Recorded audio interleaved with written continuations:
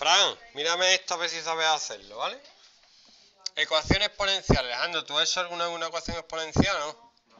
Vale, pues ayer, ayer hice el 69 y hoy desvirgo un alumno. Vamos, estoy que no...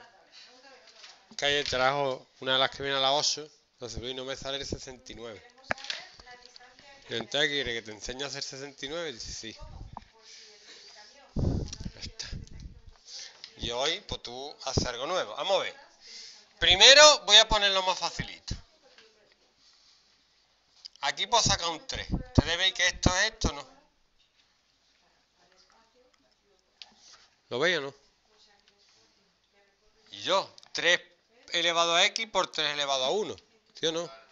Se suman los exponentes, aquí los separo y me queda 3 por 3 elevado a x. Lo que pasa es que le da la vuelta al 3. Pero da igual. Y ahora viene lo más bonito. Cambio de variable. Como 3 elevado a x no me gusta, voy a ponerle otra cosa. ¿Qué le pongo? Una letra. ¿Cuál? T de teta, por ejemplo. ¿Estás de acuerdo que es lo mismo no? Y ahora resuelvo esta, que es una ecuación que se supone que se resuelve. Se supone. ¿Cómo resuelvo yo esto? Voy a multiplicar todo por 9t. Ajá, que es 9t. 9t por t, 9t cuadrado. 9t entre 3t, 3. Por 1, 3. 939t por 28. Y me queda una ecuación de segundo grado. La resuelvo, si me dieran un euro por cada ecuación de segundo grado que he hecho en mi vida, ahora mismo tendría más dinero que el Zuckerberg. Zuckerberg.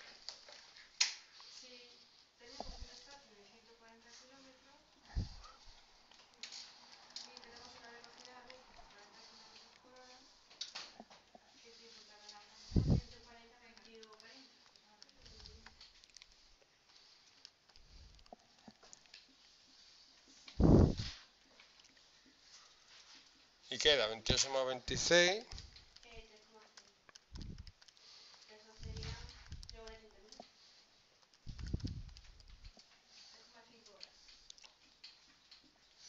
Me ha dado soluciones y una vez que tengo las soluciones de t, digamos, t no es t, t es 3 elevado a x, entonces 3 elevado a x tiene que ser 3, ¿cuál es la solución de esto? ¿Cuánto tiene que valer x?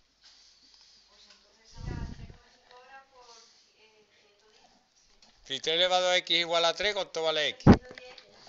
1. Y si 3 elevado a x es un noveno, que un noveno todo el mundo sabe que es, 3 elevado a menos 2, ¿cuánto tiene que valer x? 1.